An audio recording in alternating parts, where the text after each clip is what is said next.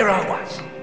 No way out. Never had I felt so alive than when I was so close to death.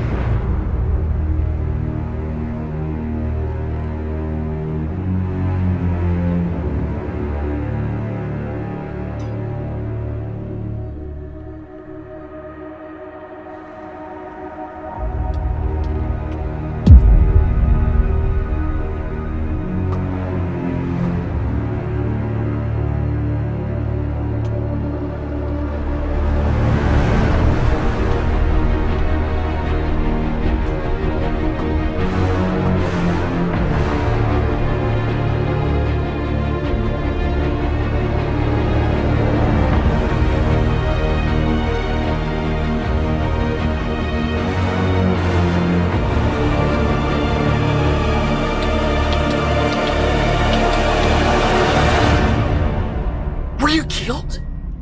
Sadly, yes. But I live.